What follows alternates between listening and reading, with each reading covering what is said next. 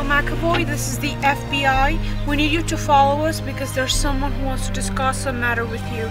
I'm afraid you don't know me. I am Bennie Wright, and I'm here to ask you for a little favor.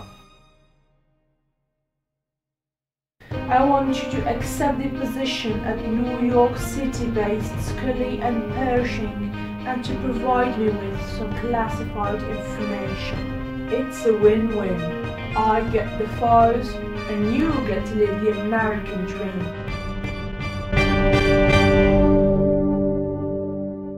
In this USB I have a video.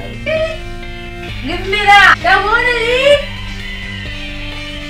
leave! A video that could prove his statement right and chances are it could lead your future to rubbish. What are you doing?